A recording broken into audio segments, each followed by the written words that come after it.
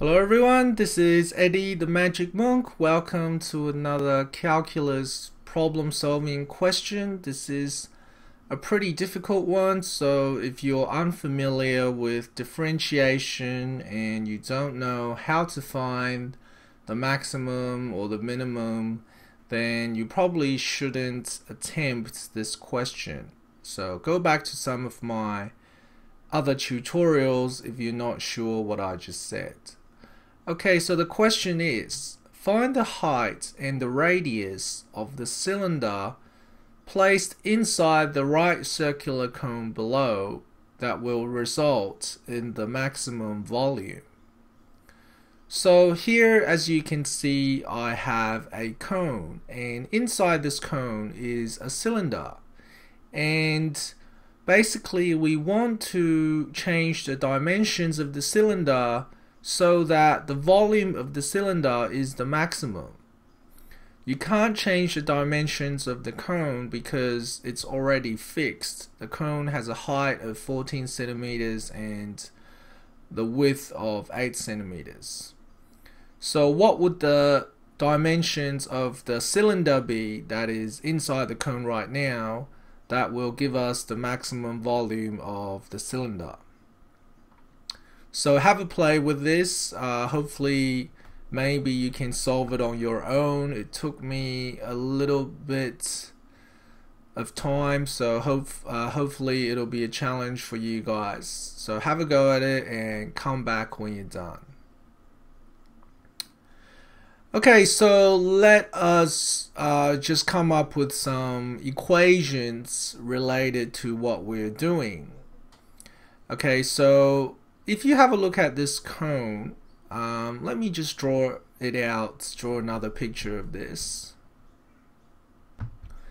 So inside this cone, I'm now going to label a right angle triangle using the height and the radius of the cone. Alright, so this is, oops, this is a right angle triangle here and let me just get rid of the R and the H of the cylinder because that might confuse you. So we have a right angle triangle here where the height of the right angle triangle is 14 and the width of the right angle triangle is 4 centimeters. Okay, now the angle that we have, let's call that theta. Now, what do we have for the trigonometry ratio for theta? We have tan theta equals opposite over adjacent. So tan theta is equal to 14 over 4. And if you simplify that fraction, then you get um, 7 over 2. Okay, now I'm going to, as you can see here, I'm drawing a few diagrams that they all represent the same thing. So I'm now going to reproduce this diagram.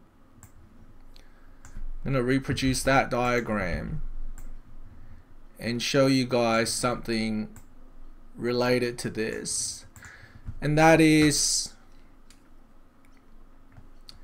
if I draw another triangle okay if I draw another triangle from the tip of the cylinder okay to the top of the cone okay if I draw another right angle triangle here then we have the same angle, theta. Okay, this theta is the same as this theta. Now, what is the height and the width of this top smaller triangle? Well, the height of the smaller triangle is going to be 14 minus h is the height of the top triangle, right? Because we have because we have h down here this is h. So therefore, the top triangle, the height of it must be 14 minus h. And the width, the bottom, the base of the triangle is going to be the radius of radius of the cylinder. Now, because this, these two angles are equal, we can write another equation saying tan theta okay both thetas are equal because these two triangles are similar triangles okay using the rule of uh, I don't know year 9 geometry parallel lines um, so theta tan theta is equal to opposite over adjacent and in this triangle here this is the opposite side so it's 14 minus h over um, adjacent side is the radius. Now since the top tan theta is equal to the bottom tan theta we can then say that 7 over 2 which is from here is equal to 14 minus h over r. Now I can rearrange that to make h the subject so that becomes 7r over 2 equals 14 minus h right because I'm multiplying by r on both sides and then I'm going to make h the subject so I'm moving h to the left so h equals 14 minus 7r over 2. So I'm moving h to this side and I'm moving 7r over 2 to this side. Okay, so h equals 14 minus 7r over 2. So we have an expression for h with respect to r. Now let's find the volume of a cylinder. Volume of a cylinder, V of cylinder equals, um, what's the volume of a cylinder? Pi r squared h. Pi r squared h. Base area times perpendicular height.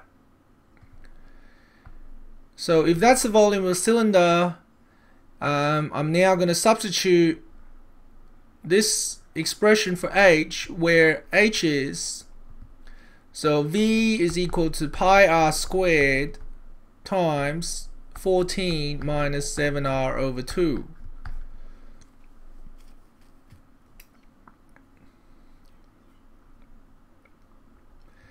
Okay, so let's expand this out. So I have v equals um, 14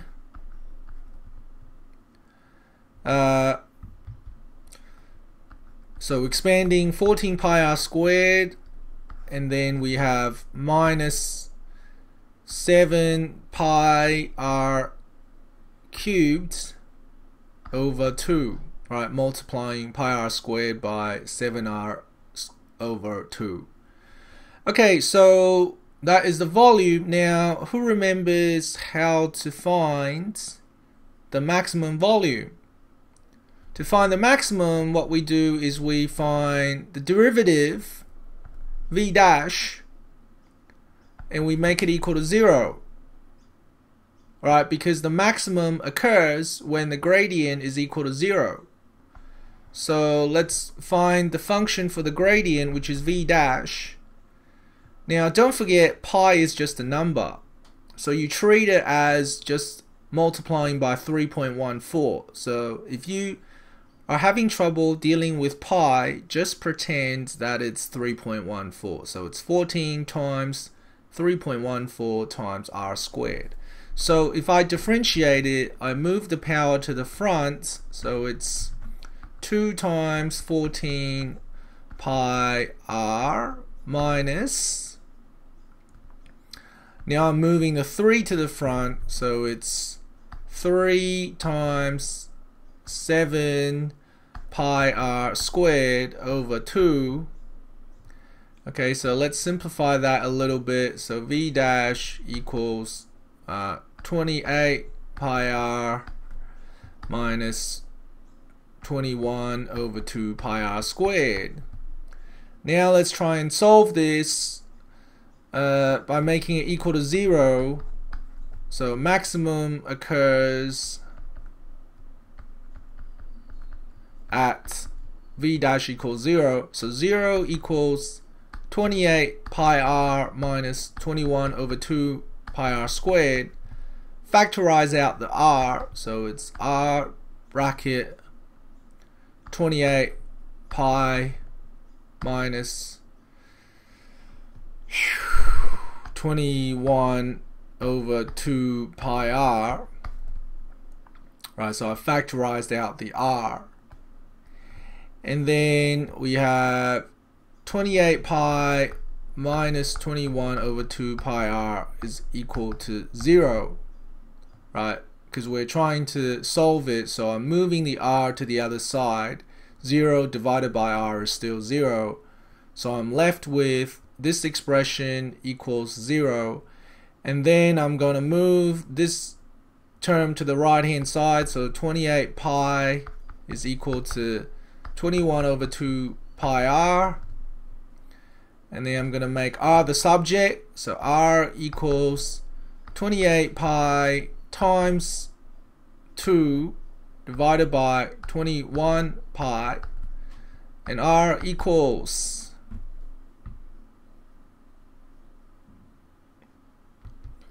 according to Desmos r equals so 28 pi times 2 over 21 pi is equal to 2.666 so it's 2 and 2 thirds um, so that's the radius of the um, cylinder that'll give us the maximum volume.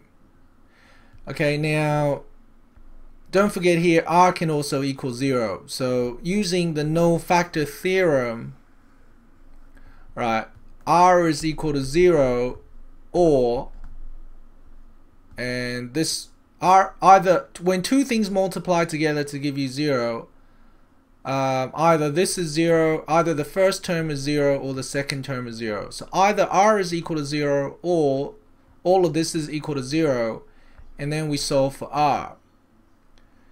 Now we want to see which one is the maximum. So you can either just draw a graph of it or you can use the second derivative test. So the second derivative tests second derivative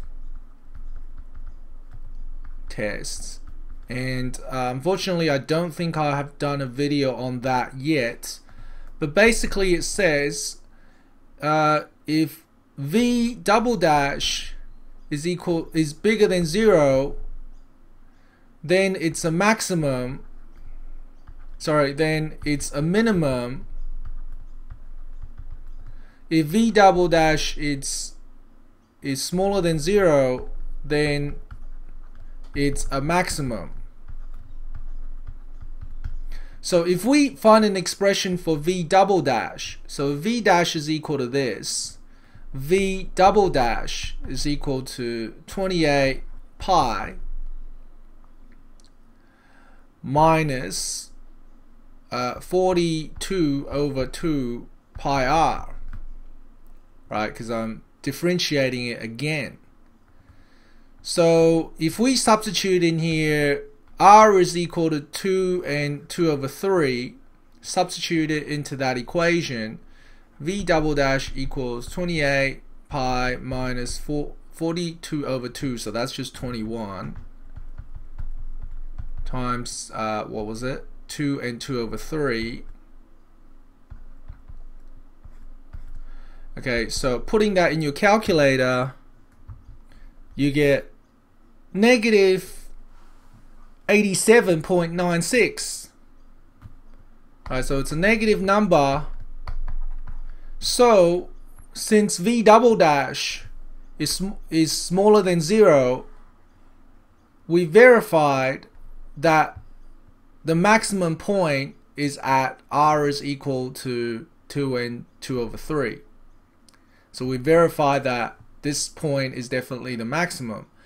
So let's draw a graph at the end just to show you, but we've already done um, the solution. So the solution is r is equal to 2 and 2 over 3 centimeters. Actually, let's find the height as well. So the height is equal to um, 14 minus 7r over 2. So that's equal to 14 minus 7 times 2 and 2 thirds over 2.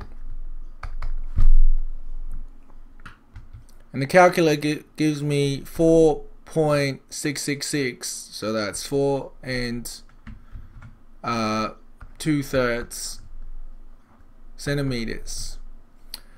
Right, so if you sort of imagine it on our diagram, okay, the maximum height is going to be where the radius is 2 and 2 thirds.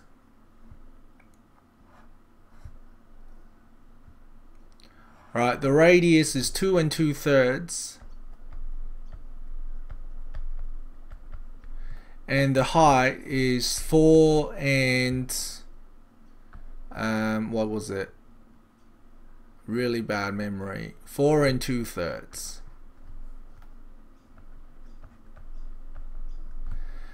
Okay, uh, finally, let's draw a graph of the volume. So I'm going to graph uh, this equation here. I'm going to draw a graph of this to show you where the maximum volume is. So I'm going to type that equation into Desmos. So you can see here, this is a graph of the radius against the volume and when the radius is at 2.666 which is about here we have the maximum volume which is about um, 104 uh, cubic centimeters. Okay